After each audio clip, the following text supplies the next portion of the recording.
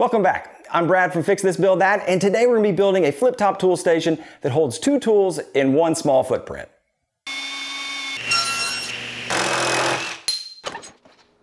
Now this is my second flip top and it's got some new features on the locking hardware to make it even easier to use. And the entire cart can be made from just one sheet of 3 quarter inch plywood and a small piece of quarter inch for the drawer bottom. I ripped the parts to size per my cut list and if you want the plans with the cut list, parts diagrams, and step-by-step -step instructions, I'll have a link below in the description. Now the secret sauce of the cart is the metal tube that runs through the top and out both sides. Now this supports the tools and lets them spin freely. I made a drilling guide on the drill press to help me keep everything square and true when I drill these holes for the steel tube by hand into the sides. I sandwiched the two sides together so that I could drill through them at the same time and keep the holes aligned, in theory. After marking the center of the sides, I used the drill guide to position the holes. It matched up with the marks that I laid out, so I went ahead and started up. I tried to keep the drill bit as vertical as possible and follow the guide, but that's where theory and implementation departed. My garage floor slopes, and as I kept the drill bit vertical, I actually drilled a slanted hole. a badly slanted hole. Just a bit outside. So yes, I had perfectly aligned sides, which were horribly slanted. So I ended up fixing this by flipping each piece over and re-drilling from the other side using that position guide. So the moral of the story here is don't double stack your sides because it's just going to double any error that you have. And next I needed to make the slots for the locking hardware on the sides.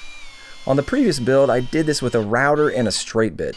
But this time I decided to use a small Forstner bit to establish the ends of the slots and then remove the rest with a jigsaw. Now either way works fine, it just depends upon what tools you have on hand. You can also use a simple handsaw to make these cuts as well.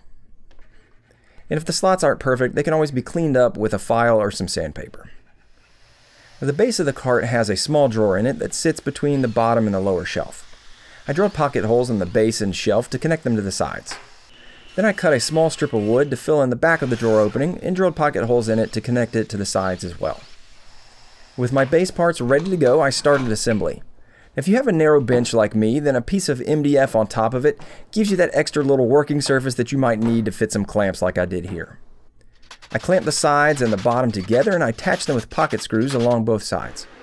Then I flipped the base upright to attach the lower shelf. I used that back piece for the drawer box and another strip that I'd ripped to the same size as spacers to hold the shelf in place. Now, after clamping the sides firmly to the shelf, I attached it with pocket screws from the inside as well. Now, I'm not going to lie, it's a tight fit to do pocket screws in a little opening this size, but I channeled my inner 8th grade self trying to pry that stuck bag of Funyuns out of the vending machine, and I made it work. I never did get those Funyuns though. Now, after that, I pulled the back piece out and I put it in flush on the back of the shelf. I attached it to the sides using the pocket holes that I drilled earlier and then I put a couple screws in through the shelf to finish it off.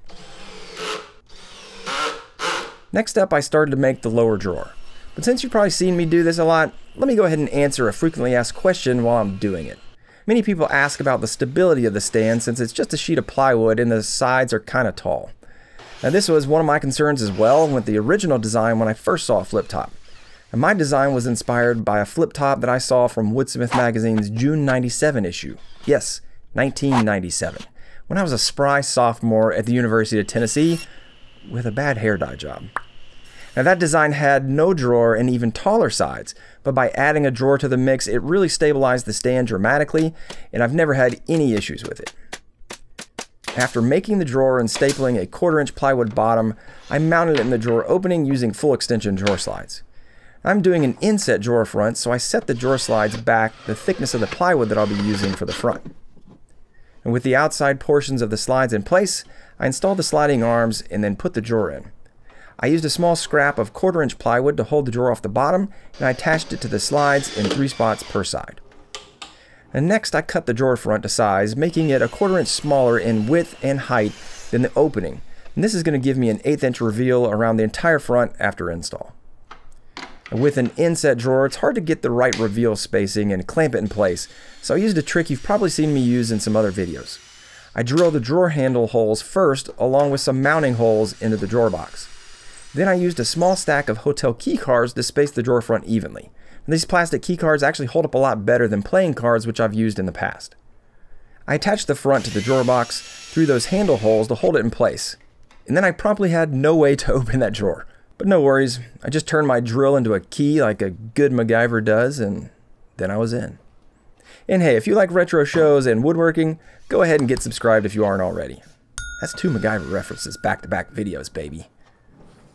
After attaching the drawer pull, I moved the stand to the floor and I flipped it over to attach the casters. You can use longer screws here when they're going to be going into the sides or the back, but make sure to use a smaller 5 8 of an inch screw when you're going only into that bottom sheet of 3 quarter ply. Now the flipping top is two sheets of plywood with some bracing for the locking hardware in steel tubes sandwiched in between them.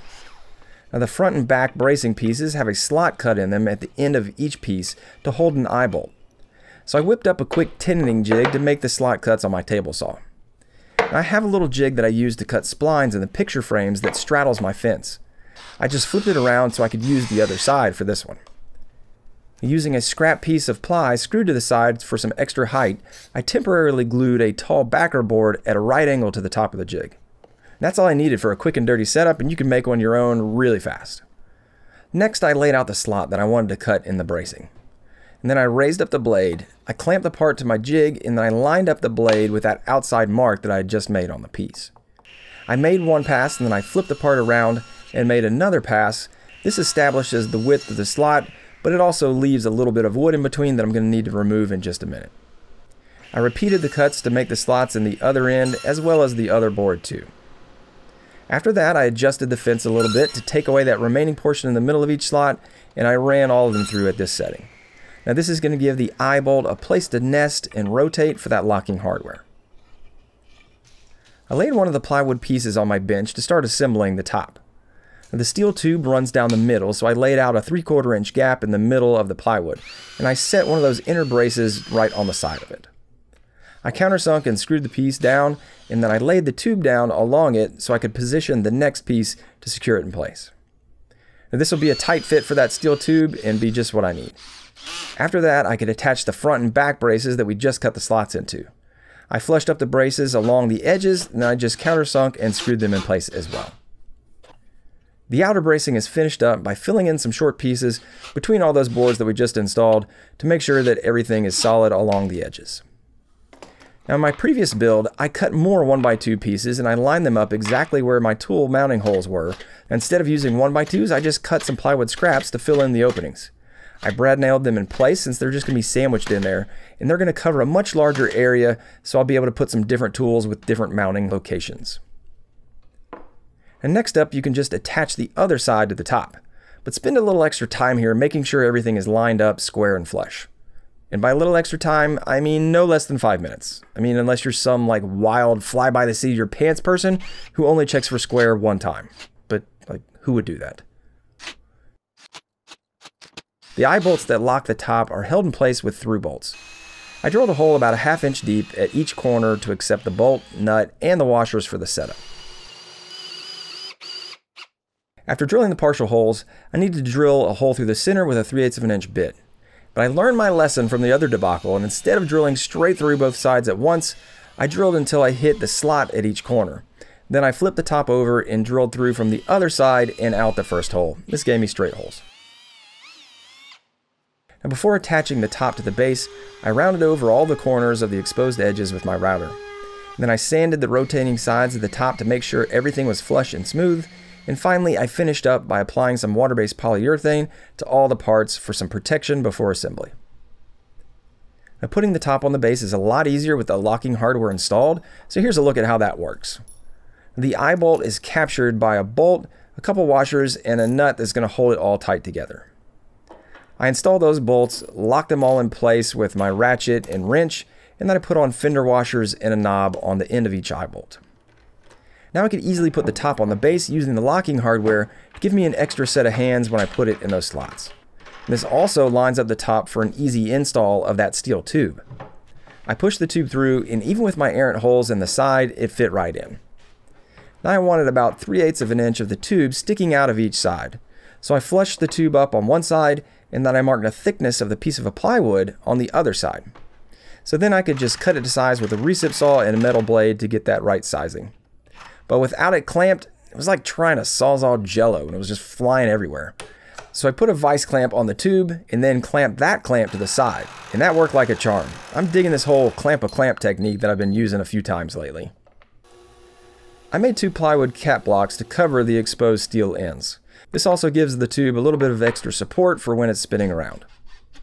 But to really lock the steel in place and make it one piece with the top, I drilled some holes through the top and into the steel tube. Then I countersunk the top of the holes and drove a screw through both parts on both ends. Now we've got a flipping flip top, but I wanted to make some improvements to the locking hardware to really make this one a little bit easier to use than my previous build. Now there were two nuisances with the locking hardware. First, the fender washers floated around and had to be moved outward sometimes to re-engage the locks. And second, when flipping the top, the bolts would sometimes flop out and catch on the sides. Now neither were major issues, but just annoying. So to fix the fender washer issue, I decided to integrate the washer and the knob into one part. I filed down the knobs to get a flat surface to connect the washer, then I scuffed up the fender washers and, and I epoxied them on right to the knob. Now just be careful not to get any epoxy in the threads here. After clamping it and letting it cure overnight, it worked perfectly. No more floating washers to worry about, and it's all one piece. Now the idea for fixing the second issue didn't come to me until I had mounted the tools. Let's take a quick look at the planer from Jet that's going to be going on the top. It's their new 13-inch benchtop planer. It's got a 2 horsepower motor, a 2-speed gearbox, and a segmented head with 24 high-speed steel inserts. And I used it extensively in the last video where I built a coffee table from rough walnut lumber. It's performed great so far, and I'm looking forward to using it for many more projects. I'll have a link in the description where you can find out more about it, and thanks to Jet for sponsoring this video. Now the Jet planer doesn't have onboard cord storage like my last planer did, so I used a 2.5 inch pocket screw, a small section of quarter inch tubing, and a quarter inch fender washer to make a set of couple cord wrap posts. You could also make some little L-shaped wood scraps and get the same thing, anything just to have a little spot to wrap your cord around. I flip the top over and I put my next new addition on the other side. Now this is the Kreg Foreman pocket hole machine and I am pumped to put this thing to use too. But as I flip the stand over, did you notice me pushing that bolt back in? That's exactly when the idea hit me for the second fix. I grabbed some small neodymium magnets for the job.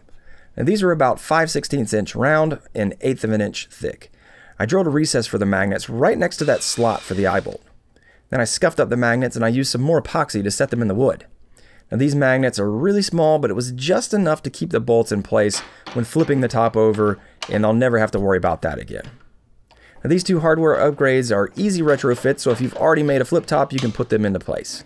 And if you've not made one yet, it's a great addition to save shop space, and I think you're going to enjoy it. Hey, if you want some other shop storage projects, I got a playlist queued up for you right there that can really make your shop look great. Until next time, guys, get out there and build something awesome.